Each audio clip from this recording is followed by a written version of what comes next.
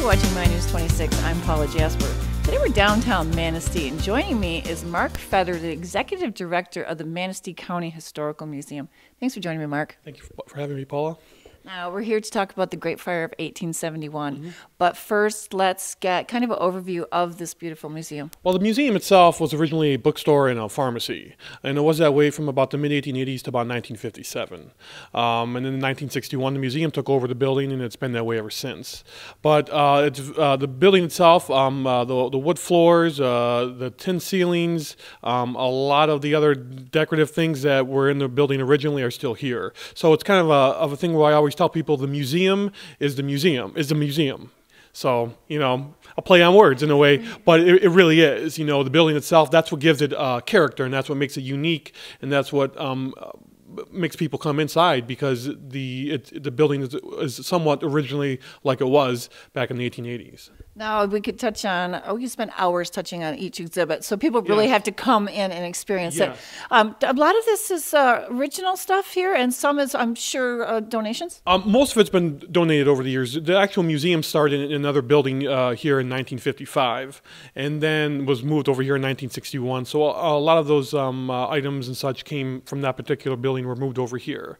Um, but there were um, uh, there are a number of exhibits that we have throughout the course of the year. Three major exhibits that we show off that pertain to um, a particular aspect of Manistee County's history. And then we have all, all the, all, the, permanent stuff here, which in the back, since the building used to be a pharmacy, we have a permanent uh, pharmaceutical exhibit. Um, we also have a cigar stand exhibit. There used to be a cigar stand in here. Um, uh, all these other different elements that were um, inherent, some of the elements that were inherent into the building that are still on display here uh, at the museum. Now, what year did you say this building was built The in? building was originally built, uh, the, actually the building over here to the west was originally built in the early 1880s. This building was built a little later on from that, and then they eventually connected the buildings to make one big building. Okay, yeah. the 1880s. Now yeah. we're going to talk about the Great Fire yes. of 1871. Correct, Tell yeah. us about that fire. Well, um, if you can imagine, Manistee at that time in 1871 was still um, it, it, was very still sparsely populated to a certain extent. Um, uh, the first white settlement came here in 1841. It was about 30 years after that, and so uh, there weren't a lot of buildings, but there were there were quite a few scattered throughout the city. Um, but uh, it was still kind of a smaller community. And at that particular year, um, it was very, very dry. And uh, a lot of the area was still, even from the north of, the city limits to the south of the city limits, was still kind of um, um, uh, forest, virgin timber. Some of it um, was was dead timber. So there was kind of that was all kind of scattered around all over the place, virgin timber and dead timber. And so um, uh, if you have a spark um, and a very dry day, very dry season, and then also with a very heavy wind, you're going to have problems. So that's exactly what happened. Um, the first alarm um, on October 8th, it was a Sunday, uh, was sounded off um, by at one of the mills in the morning. Um, and then a couple hours later, there was another spark at another mill. Um, and so that was about 2 p.m.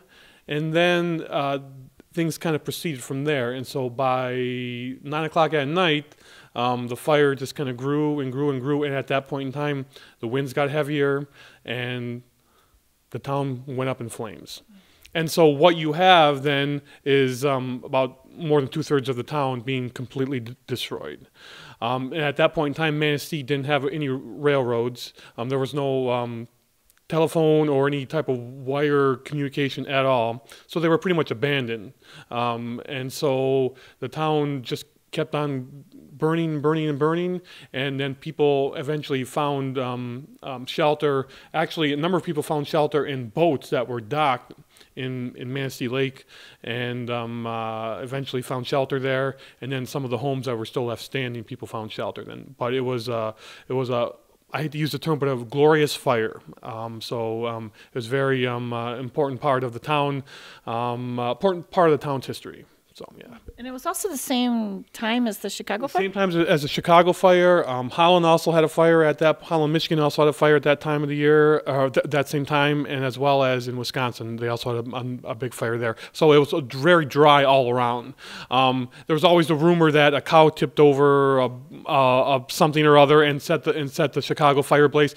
I'm not certain if that's true, um, but that's not the way it happened here in Manistee. It was just happenstance that sparks from uh, some of the mills eventually coupled with all these other factors with the dry air and the wind just set the town ablaze and that's just that's just happenstance that it happened that time um, in Manistee as well as these other places. Isn't that amazing? A fire like that and the whole town can be lost. Yeah, absolutely, yeah. It was it was it was it was huge, and and so uh, at that point in time, all of the uh, buildings were primarily constructed just with wood. Well, then after the fire and after they picked up the pieces, um, it was all brick. Then they just made the buildings all with brick. Very interesting. Thanks a lot, Mark. Yes, you're welcome. Thank you, Paula. Paula Jasper, My News 26, downtown Manistee.